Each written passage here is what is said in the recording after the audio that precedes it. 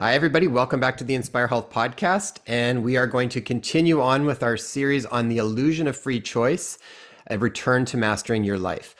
And we are so blessed to have Dr. Christiane Northrup with us today. We've we've had Dr. Northrup on. Uh, what is this? Maybe our fifth or maybe even our sixth time that we've chatted with Dr. Northrup. Um, we love our conversations with her. She's such a a gift, I think, a total gift to this world, and the mm-hmm. information that she's brought forward to assist, particularly women. I mean, her groundbreaking book, as I've mentioned before, this this Bible here, Women's Bodies, Women's Wisdom, and I say the Bible because that's literally how we considered it going through naturopathic medicine. And she's written a number of other books The Wisdom of Menopause, Goddesses Never Age, Energy Vampires. And I think probably a few other ones that I'm not putting on that list, but an obstetrician just ahead of her times. And mm-hmm. I think has been one of the best voices for women's health that um, our world's seen. So, Dr. Northrup, thank you so much for joining us again. Oh, it's my pleasure. It's so fun to see you again because it makes me remember where we all were.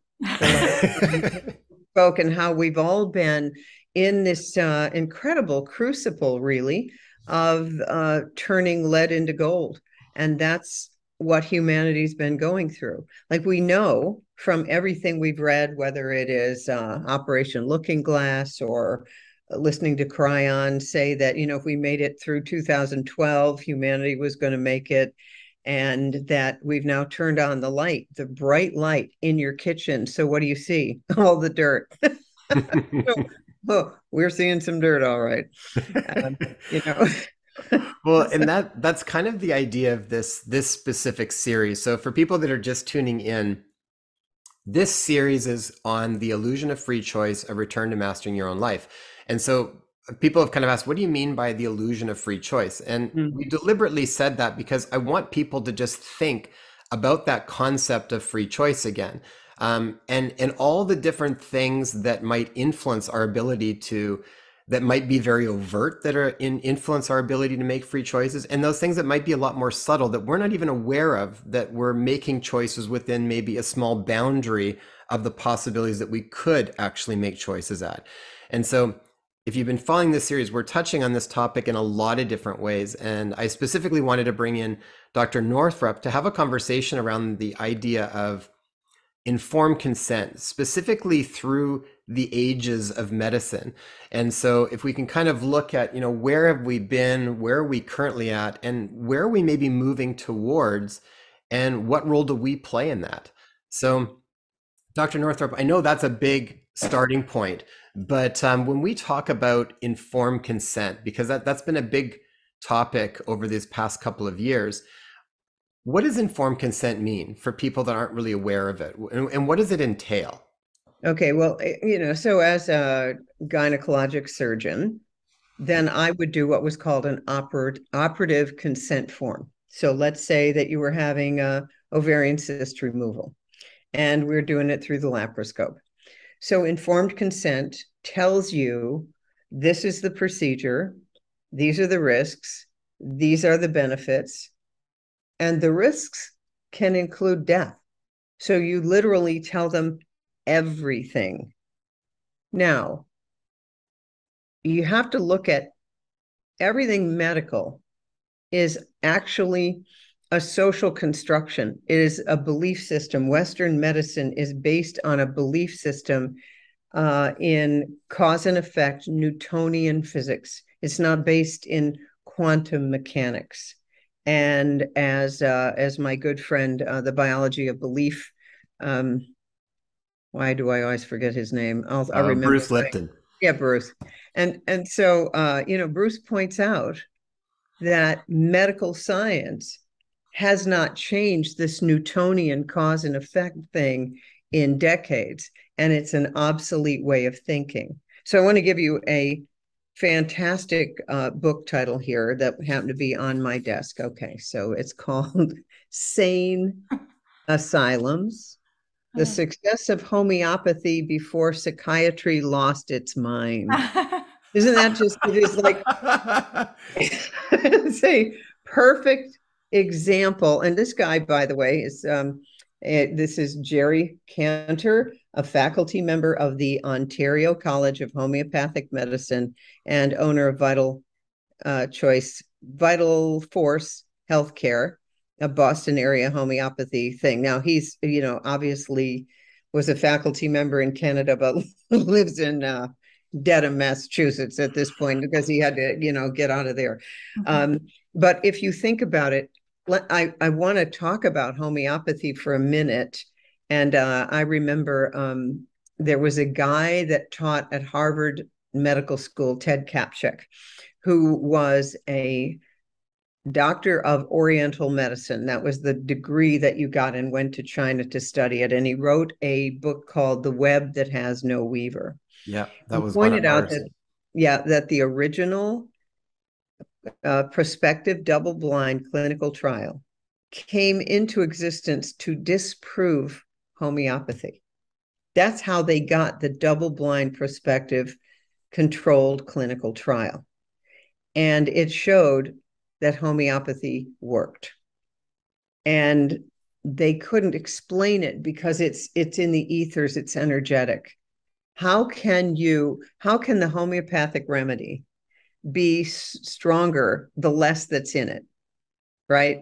So a uh, you know a 400x homeopathic remedy has less in it than the 10x, but it's more powerful. So you see, uh, with the left hemisphere, you go ah, mm-hmm. ah, how, you know how does this even work? So all of medicine, you're having informed consent in a very tiny window of possibility and we've all agreed. Now, think of how clever Rockefeller was with the Flexner Report and all of that. How clever to systematically go in in the 1910, 1912, pay doctors enormous amounts of money to begin to denigrate homeopathy, herbalism, midwives, natural childbirth, osteopathy, nutrition, all of it. So this has been a planned and orchestrated, well orchestrated psyop of what became big pharma because all of the Rockefeller medicines were petroleum based oil. So if you put a basic pharmaceutical medicine, you know, if you heat it up in the oven, it turns into oil. So we have all been under the seriously mass hypnosis that the only thing that could possibly work is a prescription.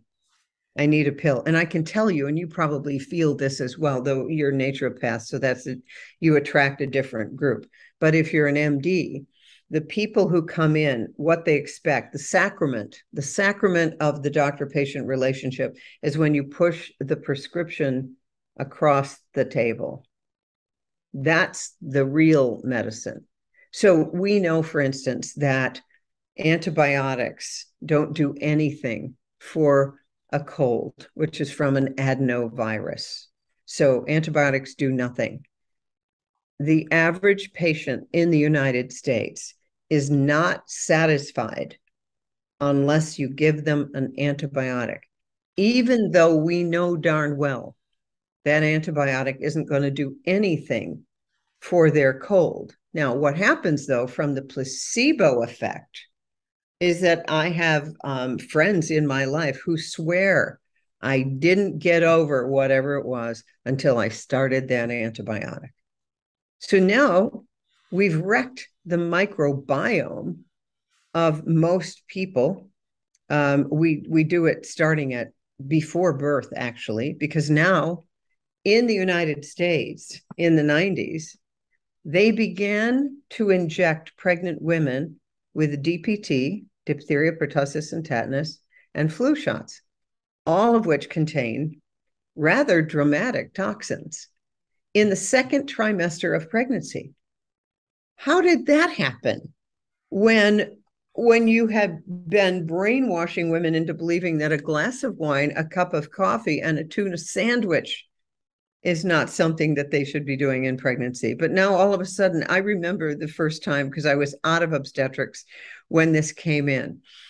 And I remember a young woman saying, Well, I'm going in for my routine um, vaccinations. And I'm thinking, routine vaccinations in pregnancy? Are you kidding? Well, that became the thing. So when you talk about informed consent, you're the the consent is okay, systematically, we all agree that this guy who was the head of the department at Harvard Medical School knows a whole lot more than this herbalist who's created a salve with herbs growing in her in her garden. So we know that what she's offering is useless and what he's offering is the way you go. So you can you can hear people say I went to, uh, you know, my surgeon was trained at Johns Hopkins, did a fellowship at whatever. And let me tell you something having become board certified in those institutions, the stuff that I saw the head of the department doing often made my hair stand on end. But people came from all over because what they were doing was going to the city on the hill. They were going to the great man. And I don't know if you listened to Tucker Carlson do that piece on Anthony Fauci the last two days. It is one of the funniest things I have ever heard. And he talked about the people who worship. It's it's like their their last standing deity to worship, smaller than the Dalai Lama. But they were, and I remember seeing those memes on Facebook in Fauci We Trust or Worship Saint Fauci. And we've done what we've done in our culture is we have taught our population to worship everything and give consent to everything that is not the real thing. So I had a partner who went to uh, alcohol rehab way back in the day, and she said, she comes back and she goes, You know what? I realize that I have made everything my higher power except what is my real higher power. Mm-hmm. And so when you talk about the illusion of free choice, it's really the truth. Um, I mean, look at what we've just come through. Uh, even we know that the law, the law is not a mandate, is not a law. But you went into Whole Foods or whatever it is, and then you had the minions telling you that you had to wear a mask, even though you knew they were dangerous. And we knew that what they were doing was against the law. But we all still did it because the um, the momentum of the psyop pulled everyone along except for a few outliers. And and you know the three of us have been outliers for the uh, for the whole basic psyop from day one. And there have been things that we have done like if i was going to get on a plane i needed to wear a mask. Now i never got an n93 or whatever they are duckbill mask. And i had one that you know i got off of etsy that you could breathe through. So I always knew it was a joke. Um, and you know, we're having Mattias Desmet is coming to Maine because he's going to be mm-hmm. interviewed on Tucker Carlson with his new book on how totalitarian totalitarian governments work. And the beauty of it is that he said all totalitarian regimes fail. Eventually they fail. First of all, because people get tired but most of all because people like us get stronger and stronger and stronger. And I like to think that our electromagnetic energy field becomes so much more powerful because we've been tested. And we've been tested in the crucible for the past two and a half years beyond anything we ever could have imagined. Because the, the rest of the sheep just went along and uh, don't make waves and uh, all the rest of it. We're looking at it saying, this is crazy. Mm-hmm. I, you know, you probably saw that piece by that wonderful German journalist, uh, Gerhard uh, Wisnewski, who talked, it was a, like a, a missive, a letter to the unvaccinated saying that we were the the true heroes of the time, that to live through this and resist it, you had more strength than most Green Berets, commandos, or whatever. You know, we're like the heroes of humanity who glow in the dark.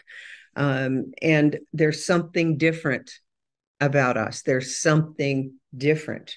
And I I believe that we um, our souls chose to be here at this time for the turning of the ages. Like I knew that the United States was coming up on a Pluto return.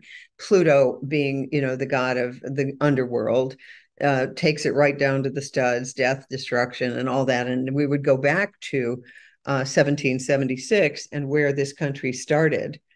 Um, the power of that, we who could have possibly? Um, and I knew we were going back to what we have to do is upgrade where the founding fathers were, bring it to the next level. You know, they left out women, they left out, you know, a bunch of stuff. They, you know, destroyed the Native Americans, all of that. So now we've circled back, but we're at a new rung. And there are many of us who can see it. And in the beginning, the majority didn't have a clue.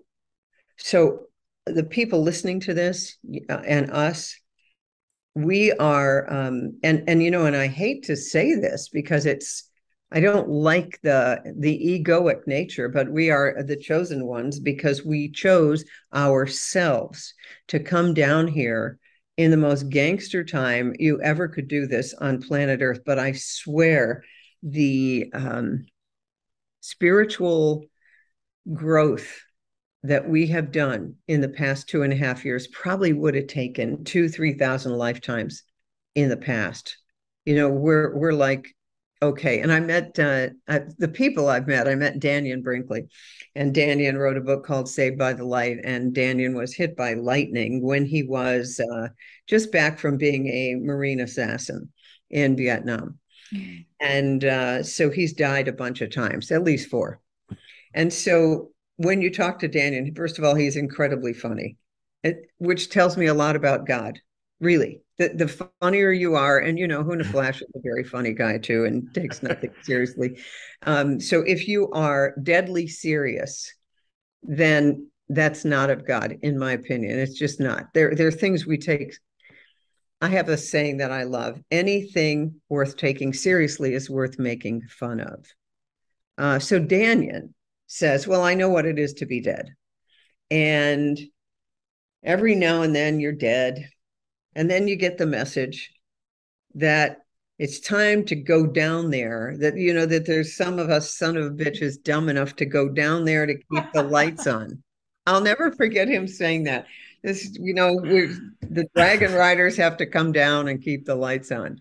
And I and I think, you know, that's how it's been but most people, I will tell you, they do not have free choice. Let me give you an example. So I'm in, you know, a bunch of doctors groups. So someone's asking, you know, and everyone's pretty aware of this particular agenda, but they still have all the old agenda going. Okay.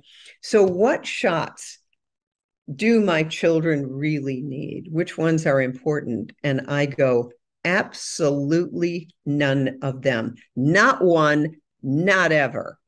And if you knew the whole story from Suzanne Humphries of Dissolving Illusions, you would never get another shot in your entire life. And that, uh, so imagine that. That that's cognitive dissonance right there. But as my friend Robert Fritchie says, cognitive dissonance is the inability to look at how horrible things really are. And and that's the truth. And when I say how horrible things really are, I say it from the from the standpoint of we absolutely have had to go through this. And for how horrible it is where we're going is beyond phenomenal and wonderful. Heaven on earth. Heaven on earth. Yeah. Yeah. Well and we just talked to um, paul selig. His episode will will be out right now. Um, and I mean, for people that aren't familiar with Paul Selig, listen to that episode. It's he's he's really phenomenal. He's written about ten books. He channels the guides, but it's it's um it's so poetic. And one of the things he talks about is that specifically we everybody personally and collectively everything is is coming up to see it so that we can see it anew and then from what he calls from the upper room so from from a connection more with true self as opposed to this this sort of false self that we've put so many different constructs and social ideology and belief systems wrapped around that aren't inherently true but we're going to see all of this stuff come up so that we can see it anew. And then from that, he said very importantly, that then we have to make new decisions based from that upper room. So uh, to me, it's like all the stuff that's coming up. And, and I mean, it's coming up everywhere. So it's coming up globally. We're seeing lots, but individually, you're going to see lots of stuff coming up in our own lives. I mean, we do, patients I see do, friends we do. I mean, everybody's kind of, there's a stirring up of the, of the sludge that's on the bottom of the pond so that we can all see it and then see it very clearly and then make new choices and to me this is this is part of the the illusion of free choice it's like sometimes you have to see stuff very clearly to then make a very informed decision on the direction you want to go but if you can't see it if there's no light on it then you're still very limited in, in what you're deciding to choose from yeah you know? that's exactly right and so we're seeing things we never saw before ever now some of us have been very aware of, let's say, the vaccine agenda from day one, because I never vaccinated my own kids. Um, and I've known about Rockefeller medicine and all the rest of it. But if you've been brought up to just, you know, this is, well, this is what we do, um, then you won't see it until you see it. The beauty is, and I remember Maharishi Mahesh Yogi from way back the TM days, he would say, no man can judge another man's consciousness. And so it's completely possible. In fact, it's you can count on it that you thought the people you thought were the most conscious sent their kids to Waldorf school, never had a shot in their life, ate all organic food, did yoga, were the first ones to buy the COVID agenda. Mm-hmm. Um, I found this something that I couldn't even have imagined I, I called up uh, someone that I had worked with for years. I wanted to promote something that I had done. And they said to me, Well, you have to come out against QAnon, you know, because you're now a QAnon conspirator. It's like, what? First of all, anyone who's done any media training knows that your first thing out the chute is not to come out against something. It's like, you know, what I learned in media training was all we remember from Richard Nixon was, I am not a crook. You know, it's like, you know, I am not a QAnon conspirator. Like, really, is that all you got? I, I've at this point, okay, I have been labeled, let's see if we get them all mm-hmm. transphobic, QAnon conspirator, white supremacist, um, anti vaxxer. Of course, you know, the disinformation doesn't you get to the point where you where you realize those labels are what we do to separate us from each other to mm-hmm. separate us from our divinity. And it's so convenient. I um i read a thing we have a guy in in maine who follows our maine stands up work for medical freedom. And uh, he put on twitter that i had founded a well-moneyed christian cult. It's like wow I mean, wow. Um, so you get to the point where the worse it gets, the funnier it gets. Because when you're connected, really connected to source, and you're really not trying to pull anything over on anyone. And my message has been consistent for my entire career. Nothing has changed, nothing. Mm-hmm. But what happened was people got to the vibratory level that they could handle and then they and then they couldn't go through the the eye of the needle t- because uh, that would be too much and it was so much easier to find a group to hate. Um you know this is an epidemic of the unvaccinated to now the cdc saying uh well you know we made a few mistakes like yeah do you think? Um and and so I found the great culling of the herd, the great culling of the herd, all of those who are on the same page as me and you for my entire career, boom, fell off the truck. Then a bunch of people that I have never had a big following in, which would be the conservative Christians. Suddenly, hmm.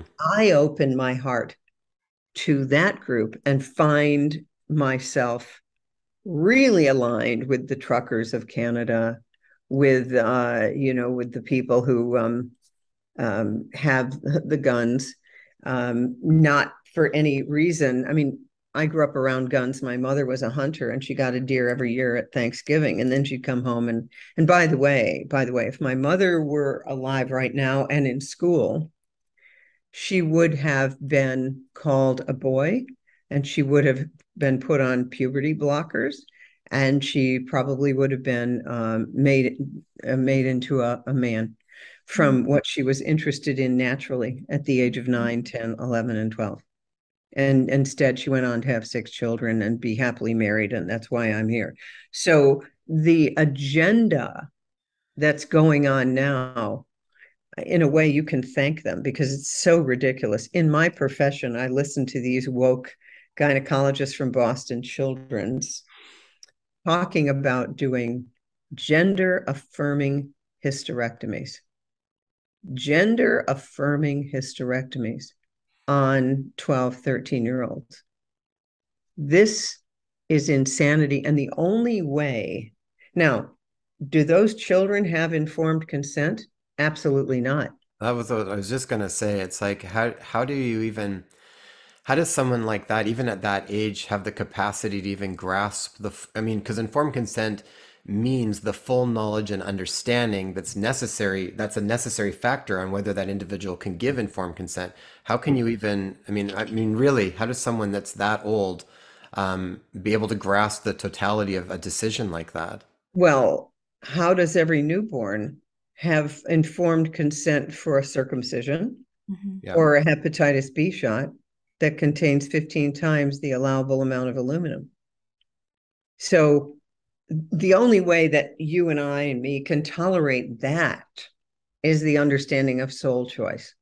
That that there's a energetic bond between us and our parents. We choose that portal because that's the only way our soul can learn certain lessons. That's the only way I can sleep at night. Because, as we know, if we stay in the Bermuda Triangle of transactional analysis, victim, perpetrator, rescuer, victim, perpetrator, rescuer, there's no there's no way out of that one there's no way out of that one you, you'll be unhappy continually so we have to like you said about um selig paul selig go to the upper room. Yeah. You know you you said so many things at the beginning there too that was um very very serendipitous which i often find when we chat with you. Um i've been recently was reading another book too, specifically around bioresonance frequencies. Same sort of a concept tied in with homeopathy and and looking at even um, ideas around the memory and water and, and different aspects of that. Really fascinating stuff.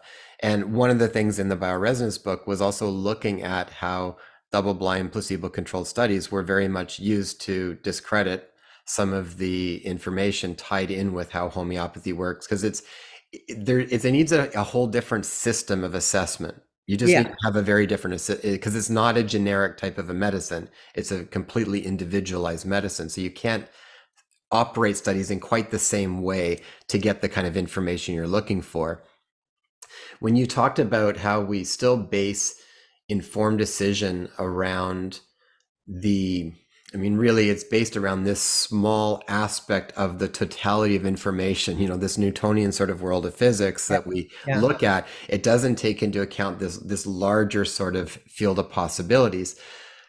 What, how does informed decisions, how does informed consent going to have to start to change? How do you even incorporate more of that stuff, I guess? Um, well, from, you know, from where we are now, which seems like it's, so limited. And sometimes I would even say it's deliberately not certain information is not put in.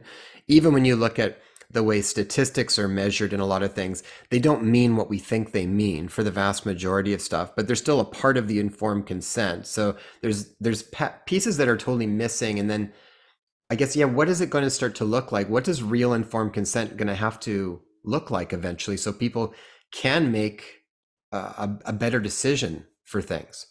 Um, it's going to have to start with a person's first sense, which is their intuitive sense, which we call the sixth sense.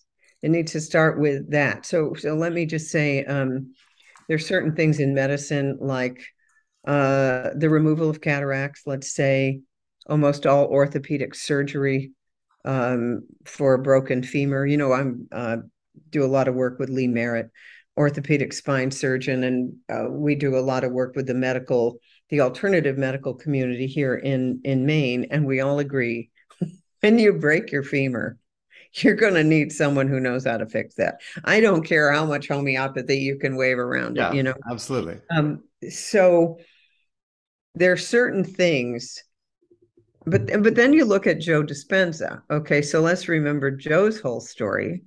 Um, you know, becoming supernatural and you are the placebo. And here's Joe, this is years ago, and he's in a triathlon, and the policeman um, waves through a woman in an SUV going 50 miles an hour because the policeman didn't see Joe, and Joe's on a bicycle, and bam, and so he broke all these vertebral bodies and he was in a Stryker frame cast. And they told him, You'll never walk again. And we need to fuse your entire spine and all of that. And Joe, a chiropractor, is um, lying there saying, If I can get into the mindset that created my body in the first place, then I can heal this. And so, you know, he did and was on What the Bleep Do We Know? And so he's teaching people how we get back to that part of ourselves that we've been talked out of mm-hmm. starting in childhood. I mean, I think I remember reading um, that there are certain shamanic cultures uh, that it's very easy to heal things because the people have not created blockages to you know like oh if i put my hands on your eyes you'll be able to see again oh good okay boom and it happens. Um, but the more sophisticated, the more left brain the culture becomes, the harder it is to appreciate the magical right hemisphere ability to heal. And so we believe that all that stuff is is um, impossible. There was a book, Jonathan Livingston Seagull, way back, yeah. you know, and he would say, argue for your limitations, and sure enough, they're yours. Well, our entire culture is your limitations. Mm-hmm. And what is healthcare in in conventional medicine? It's drugs and surgery. And after the age of 50, medicine is your colonoscopy, your mammogram, your uh, lipid profile, your all of that. And what you don't realize in the background is that the American Heart Association keeps lowering the blood pressure levels and keeps lowering the cholesterol levels because they're funded by the company that makes Lipitor and the blood pressure medications. So you don't get all of what's behind that. You know, Pfizer is a serial felon. I mean, I think for uh, Celebrex, they had to pay, or or whatever it was called, they had to pay the highest damages ever for you know 2.3 billion or something and and that's who we're trusting with this with this shot. It's like, wow, that's a um, that is a mindset. You can get to a place of free choice, but everything is pretty much run by fear. Like if you don't go to get your mammogram, this could happen later or if you don't uh, you know well you better get it early or you better whatever instead of teaching people you know uh, you could pay attention to your dreams. A lot of messages come up in that. And there's all kinds of ways that you can partner with the universe. You know, you probably know the the book Animal Speak, Ted Andrews, where um, you know, an animal crosses your path, or you know, you see a whatever it is, and you look it up, and what's the medicine of that animal, and you begin to live in concert with constant messages from the universe and you know what? Everyone knows this. I mean, it, it, regular, even Harvard trained people know this. You know, I had a friend leave my house one night late, and the song on her radio going home was James Taylor singing, I'm a night owl, baby, sleep all day. And beside her on the road was a snowy owl. God is talking to you all the time, all the time. And so we need to teach the children, the next generation, to pay attention all the time to the way God is talking to us. And you can still learn to read, and you can still learn to do math. yeah, exactly. It's interesting because this is exactly what we're reevaluating right now. It's like, mm-hmm. what is really important for our kids to learn? So we have a four year old, a six year old, and a 17, almost 18 year old. And I've I've seen and cringed um, through my my son's schooling because I've just known, I've intuited that it's what he's being offered, what he's being fed uh, with through his schooling is just not necessary. It's just a bunch of hogwash that is actually dampening his creativity and his curiosity, his natural curiosity that all kids come in with. Right. And so this time around, so my son was from a previous marriage, and this time around, thankfully, uh, Jason and I are on the same page. And when we sit down and we seriously discuss, well, what is really important? Well, it would be useful to to learn to read and write and, and know and a the certain numbers. amount of numeracy and stuff for yeah. sure.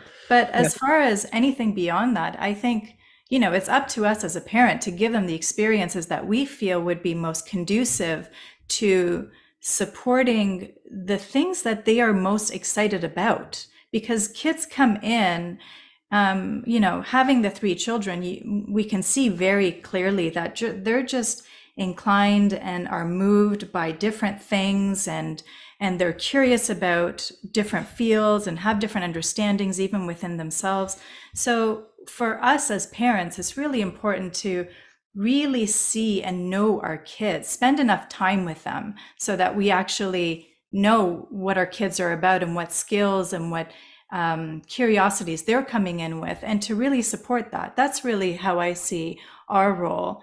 And yeah, and as far as you know, taking them and teaching them or taking them into a regular school system, we're choosing not to do that at all.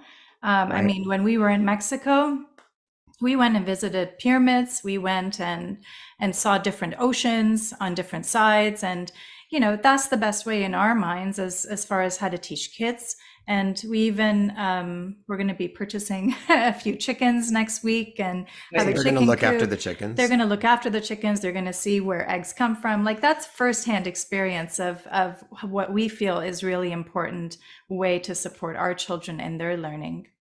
Yeah. And, uh, you know, when you, kids are naturally so curious and if they if they uh, there's something they want to research you've never seen anything like mm-hmm. a 9 10 11 year old just going for it and you know i'm staying up with a flashlight reading a book in their bed like they you know because they're following apparently by the way uh heard a story about nikola tesla and his father was so worried about him because he was so interested in so much that he would never sleep and he had a t- trouble eating and all of the rest of it because he was just you know got to get it you know I got to get this stuff done and so i think that we now if you put your kid in front of ipads and screens they will become addicted to that yeah. and and I've seen it in my own grand grandchildren.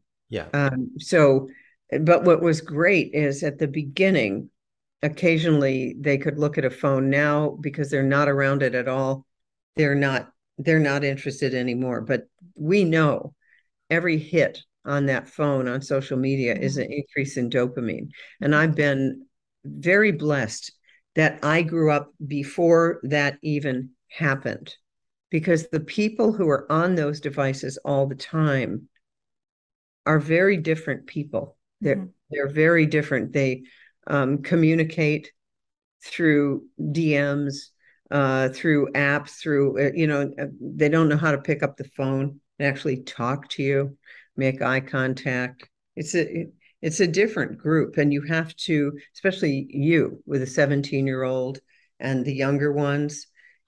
Just guard against that mm-hmm. at all times because it's so easy to fall into that trap. And they did that on purpose. I remember when Apple gave computers to every kid mm. in our school system here. And we all thought, oh, that's so mm. progressive. And now I realize that uh, I just heard of a school in Kansas and screens are not allowed. No phones, no nothing. Because the, the, the good schools are finding how awful this is. A friend just uh, got her son in a school near LA.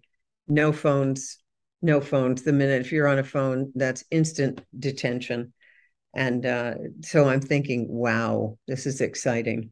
Very exciting. That, yeah. that is really neat. I think you're going to see. Mm-hmm.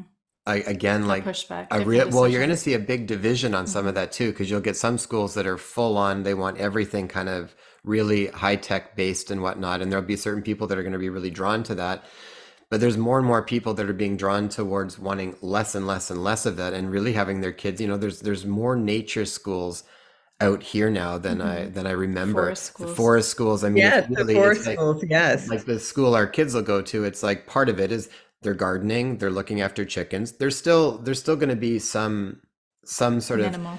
of you know conventional like learning learning how to read and write and learning a little bit of numbers and stuff. But but it's it's it's based within this idea of being surrounded by outdoors and and different types of skills that I think inherently are you know they they're engaging and they keep you mindful and they're these whole different practices that are just built in you know they like gardening is well something like gardening I mean you know we, we think it's so simple but it's like gardening is a really magical um, craft to be able to engage yourself in. I mean it's we right from early on when our kids were like able to walk, they'd come in the garden. They not would, even. Yeah, even they'd sit. They'd sit yeah. in the dirt and usually eat the dirt and yes. worms, but they would be completely content. Yeah. You know, and even Very still, calm. our our four year old, you know, is fascinated by flowers. I, she's totally like a little flower fairy. I mean, she will find them and she's just all encompassed with, mm-hmm. you know, mm-hmm full on. Um, it's just adorable to watch. But and the older one, the five year old or the six year old, is more animals. enchanted by animals, and she wants to know everything about animals. Wants to know yeah. their speed and how they live. And I mean, this is all this is all education. So for us to then meet her and to be engaged and to look up information in the, in our bookshelf and try to if we don't have it then to go to a bookstore and look for it like this is yeah. all accompanying your child and really and it's really cool because it's like hours like yeah. like you know they picked out a book each and one picked out the local flowers and, and flora and the other one picked out local animals and yes, so yeah. we sat there and they just dived right into them and just wanted to look at all the different things so so we mentioned this because it's really important for people to to know to have a bit of a, to gain a little bit more confidence within themselves that you don't really need a system outside of yourself outside of your own parental you know motherly and fatherly instincts and intuition in guiding your children you actually can know how to do it best more mm-hmm. so than, than any system could but yeah, you said something that I think was really important, though, uh, Dr. Northrup. You talked earlier around informed consent being really important to start to acknowledge the intuition of the person. Mm. Um, I love that, and I think that's a huge thing that we've we've kind of been talking about for the last couple of years about really connecting back to that intuitive guidance. But again, a lot of people are disconnected from that intuition. So yeah from that place like where from your perspective do you start do people start the process of really being able to start to connect back to that type of guidance so that it's it's trustworthy again? Because a lot of times i think people have disconnected and then they it's more trustworthy to get the advice from someone outside of them that's in a place of authority as opposed to their own inner guidance. And I, right. I think that's an important piece that we're transitioning around where can we move from an outside source? Not that they're not there. And part of that could be listen to it, but still run it through your own intuition as well and see if it resonates or not. Right. So uh, uh, the first thing I would say, again, let's going back to a medical model. Um, you walk in to an office, or let's say that you're you've been given a referral. You walk into the office, and from the first moment you check in how do I feel? Is this a healing atmosphere? And if you're an empath, which a lot of people are who listen to us, you are an air purifier and you you walk in and you might well notice that things are not they don't feel so good we tend to think something's wrong with us when in fact we're actually just processing the negative energy for everybody else.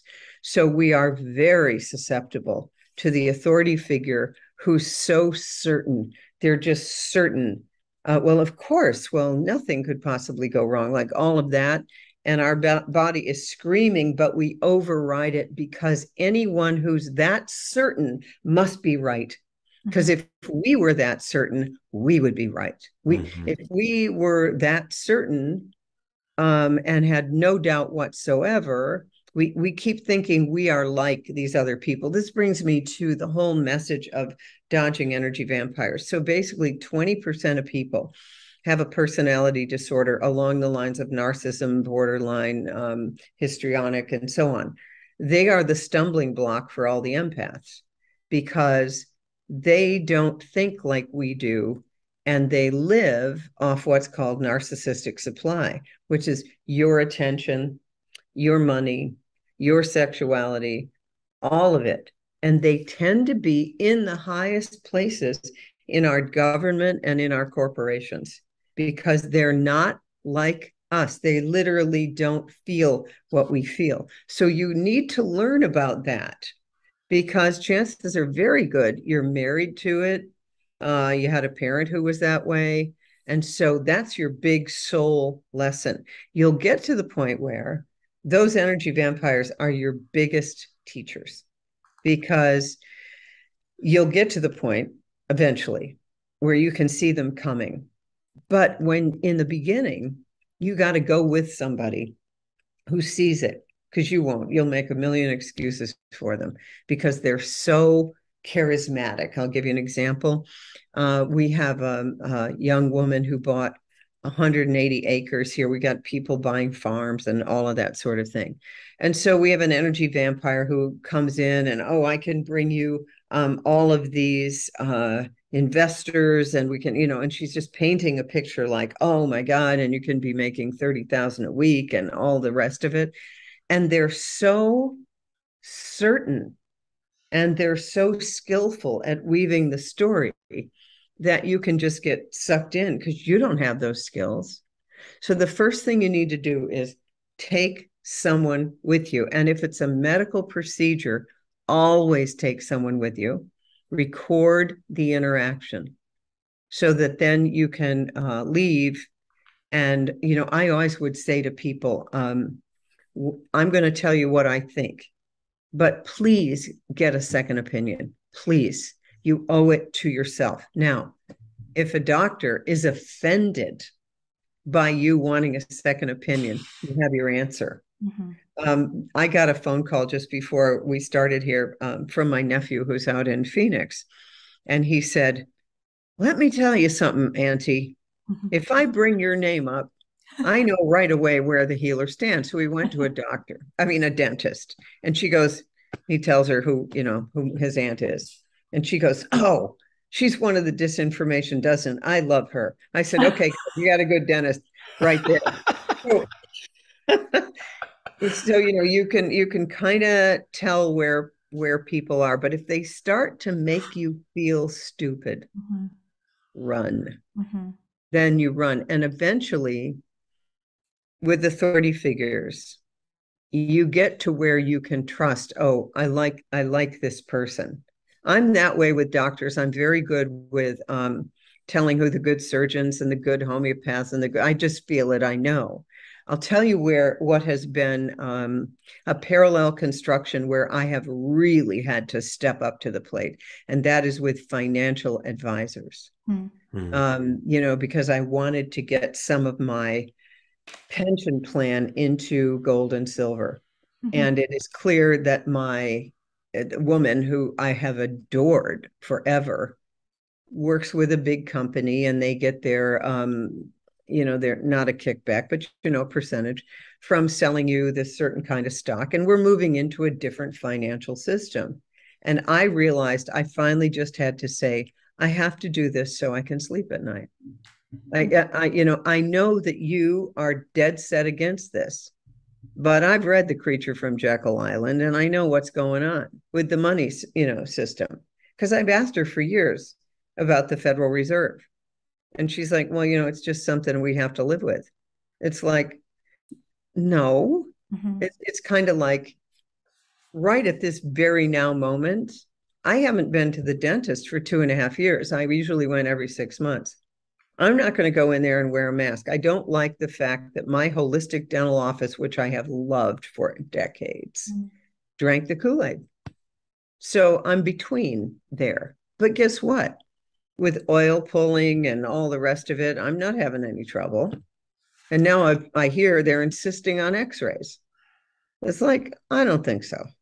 I don't think so. But, you know, I trust myself. And here's the other thing the crux of all of it, all of it is this those of us who are going to do well in the world we're building are the ones who are willing to take 100% responsibility for what happens to us. And even if you didn't see it coming, you say, well, there must have been something in my energy field that drew that to me. That doesn't mean that you're to blame. It means that you are responsible to a situation. It is the most powerful thing you can do is just decide, all right, I'm going to take 100% responsibility for my life and for whatever happens. And I will tell you, uh, I'm going to give you a real grounded example. Okay. So I knew that I had to declutter my my home. And I knew there were too many piles of paper, and I got two and a half years of, oh my God, here's the smoking gun of, you know, and I've got the data that they keep disappearing off the internet, and I, yeah, yeah, yeah, yeah. And then I went home to my childhood home, and it was the first time I'd ever been there without my mother alive. She died at age 95 last September. Hmm. And so our job was to go through some of her things. And suddenly the whole thing is gets into perspective. The family pictures, the this, the that, what you want. You want your parents to keep your stuff the way it's always been so you can go back and, and visit it, but you don't actually want it, but you want them to have it around so that, you know, this is my childhood kind of thing. When we're suddenly going through boxes and all of that stuff, my mortality hit me between the eyes, and I came home and I said, okay, I don't think that I need all of this stuff. Mm. And suddenly something shifted in me. Plus, I, I listened to a TED talk where the woman said, clutter is often the result of not making a decision. Mm.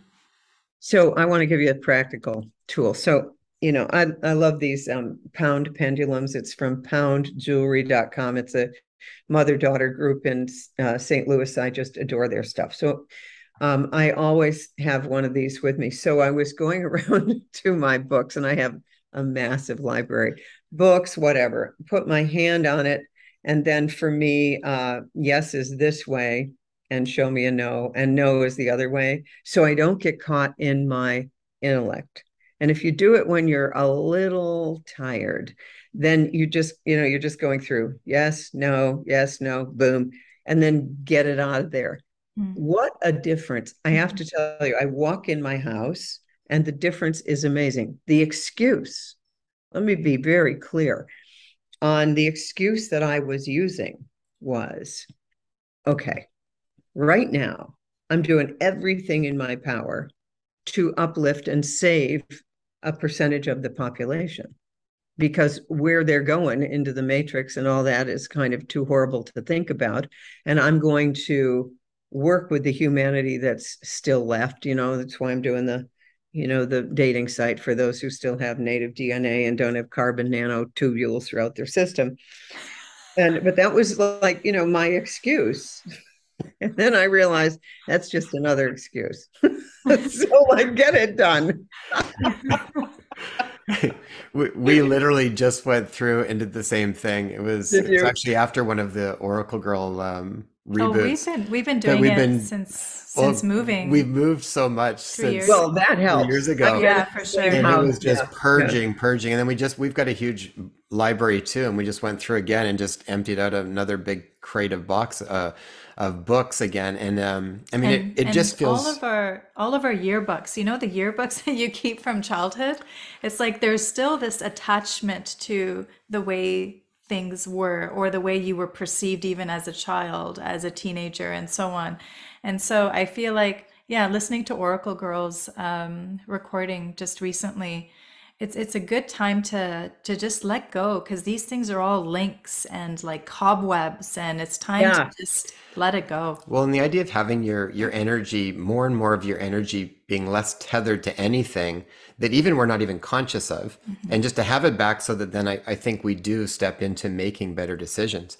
You know, you you talked about with your dentist and even having to do your own sort of taking responsibility for your own health. This this was something that was really obvious to us when we went to Mexico. So when we were there, we kind of became a bit more of like a of a hub for whenever somebody had Yes. an ear infection or a cold or a bee bite or whatever it might have been because we were kind of the people there and we bring a pretty extensive um, natural travel first aid kit with us. So we started talking we're like you know this is really interesting because we are also meeting so many people that were like getting up and going somewhere else or traveling and there's a lot of unknowns in that. And we thought it's incredibly important for parents to start to learn how to actually manage a lot of stuff that you can manage for your family from a first aid perspective without the worry that you need to go to the doctor. And it's not to say that that's not an option when it's available, but sometimes it's not going to be available. And there's so many things that you can do on your own. You just don't, they just don't know the skills yet. So we literally came home and I just hammered through and wrote up uh, it's probably going to be a little over a hundred page ebook on travel first aid for natural travel first aid for the families and breaking down major conditions and then even pulling together these are some of the key things that we use that's in our travel kit so that you can manage. What how do you actually manage a fever? How do what are some of the things you can do for a cold and a flu? What do you do for um, bug bites and for scrapes and you know from a natural perspective? And what i find is that when parents actually do that and they see it through and they see that they were able to do it on their own. I mean it's it's empowering. Mhm. and then i think from that that extrapolates out into many different decisions they start to make. Then all of a sudden it's like huh. You know i think Yeah. it opens up the door for how do i want my child to be educated? What kind of other decisions do i want to make? But it, it, it gives that sort of um Do I want to live here or don't I? Do I want to keep this job or don't I? it it really is neat because it's like as soon as they I mean it's like I find like, like with a fever. Fevers can be a scary thing for parents to deal with with their kids. Part partly because we've been so indoctrined that fevers Yeah. are such a Yeah. scary thing. Right. And and so, you know, know kind of your have some information so you kind of know more of the whole story and what you can do to sort of manage that. And what I find is that when when parents work with their kids and they know how to do it, you know, like fortunately for us, we've never had to suppress a fever in our kids ever. Right. Our Right. kids, I think, have a really robust immune system because they've been able to um, they've been able to build it on their own just by Yeah. supporting these things. And and partly what also people don't realize is that when we let them kind of move through certain things and support them properly, know know know where the limits are on stuff, but how do you support it? And most of the time, you can support things it's not that hard for most things, right? Um, and all of a sudden, it's like when parents go through that process, I feel like they just, it's like they step into a, a new level of confidence on things. So, anyways, that's in the process of getting completed up and should be out soon. But um, that was just something for us when we were there, like, that's really important. And I think there's going to be more and more things like that for how do we take that responsibility back and, and what can we do on our own? Yeah, absolutely. Absolutely. And you know, one of the things that is true about a lot of doctors' families is, you know, and I come from a medical family, and because they know what's going on, you just never go to the doctor. I remember my kids saying to me, Will we ever go to the doctor? I said, I hope not.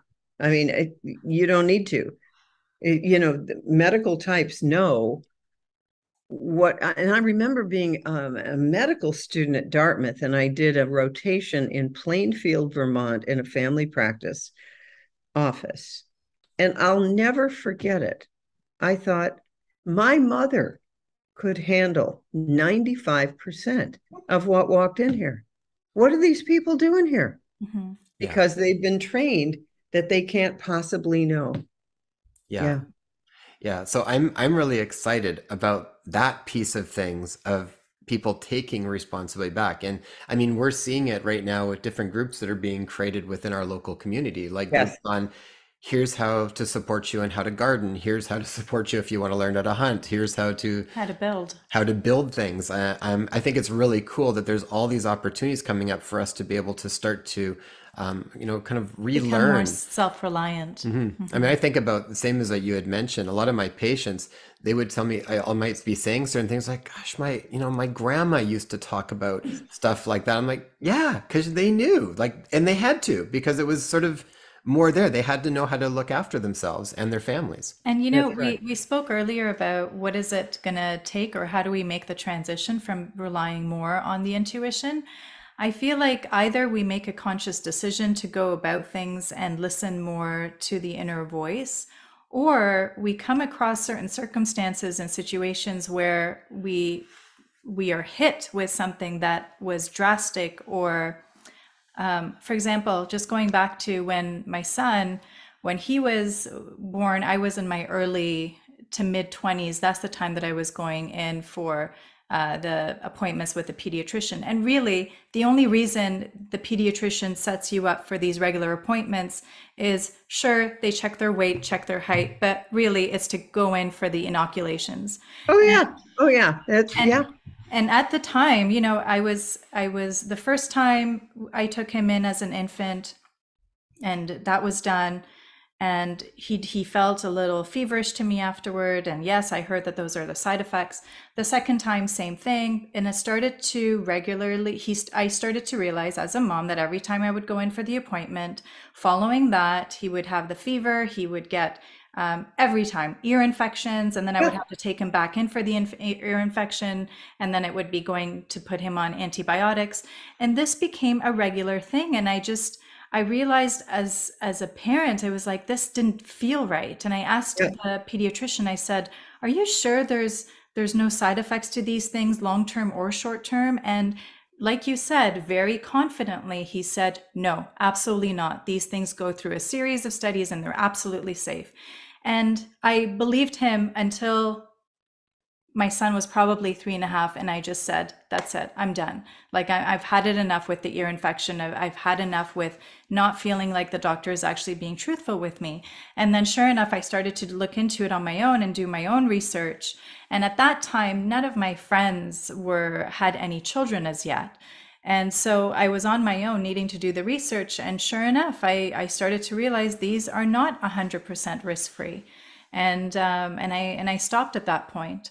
And so these are the things I feel like even now, what we're coming up against, there's been lots of documentaries. There's been, you know, you have spoken adamantly since the beginning, and there's been so many others who are now speaking up as well. There's more and more information coming forth about the repercussions of, of the certain choices that many have made these past two years. And so people are going to see it firsthand. There's been friends who are, have also spoken up about, you know, getting the the third shot for their teenager who has had who now has heart problems. So these things are going to come more and more to the surface unfortunately and are going to cause us to kind of step back and say pause.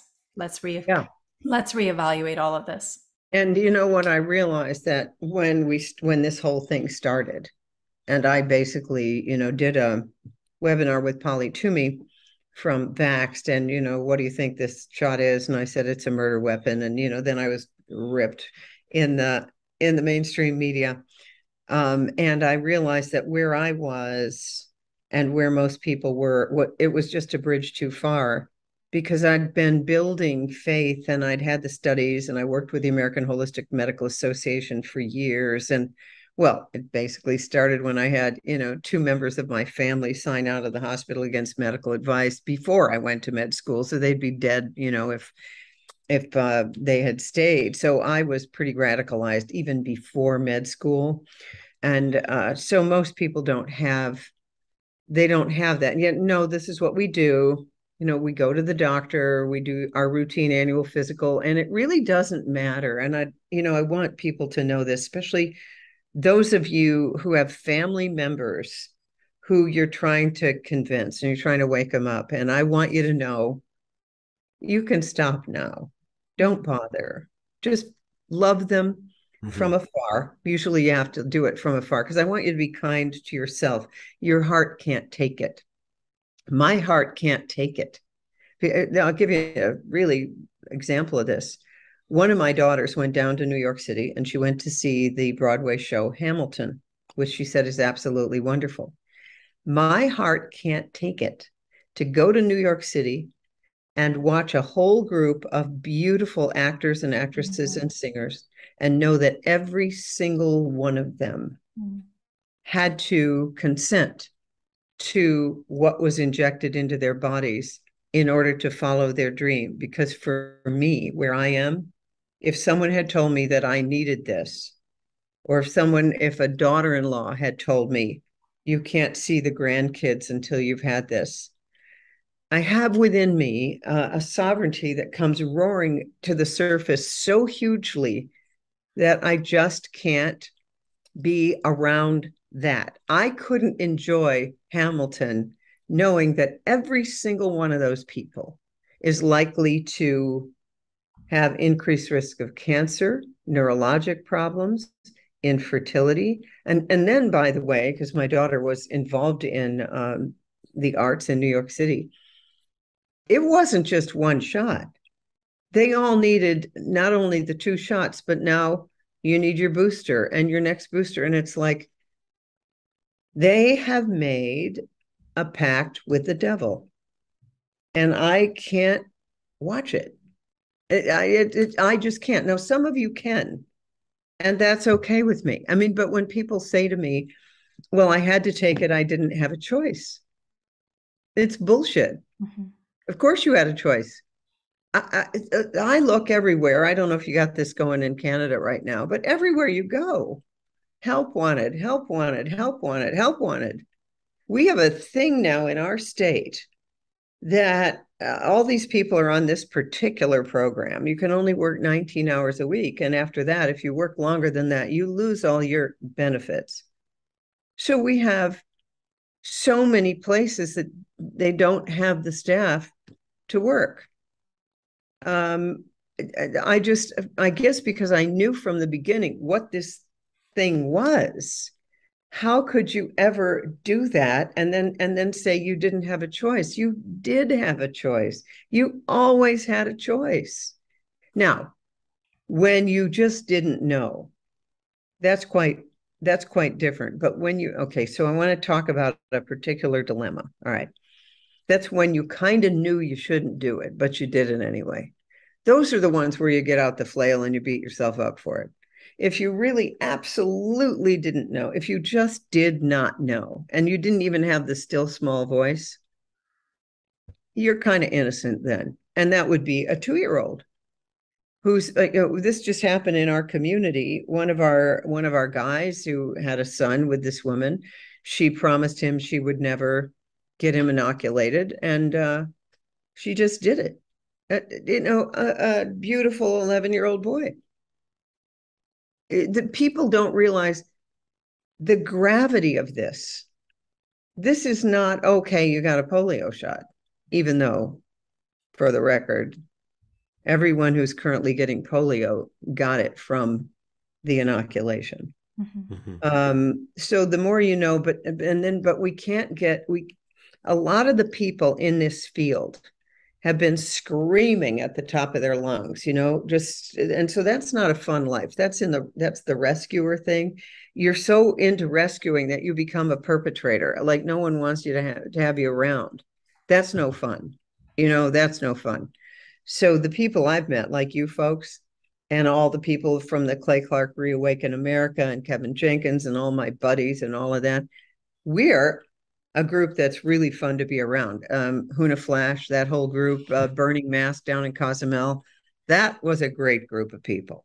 Um, so, you know, we're we're just a very certain vibration, very specific vibration, and that's who I that's who I know is going to be building the parallel economy, the new Earth, all the rest of it.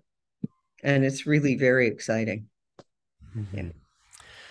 Uh, Christiane, thank you so much. Mm-hmm. Um, any last words as far as for moving forward, for where people are now, as far as moving forward and being able to step back into that place of being able to really make choices from a place of of I think self awareness, more self awareness, um, stepping back into that, mastering their own life. Any final words for people before we finish up?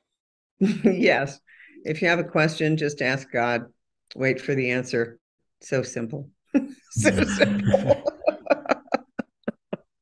and you know, it's really interesting because right at the beginning of um, of this pandemic, the strong message that was coming through was look for the spiritual context. Like it was a voice that was just amplifying more and more when I was looking around at everything and everything seemed untrue off access. It was that voice of look for the spiritual context. And more and more it's and and this is why we started to incorporate a lot more of the metaphysical perspective, the spiritual aspect of understanding reality, because it's really imperative if we're kind of trying to look at things from this smaller aspect of us that is so disconnected from source um, then we're simply just rearranging things in the same guck, muck, and mess that we've always seen it seen it in.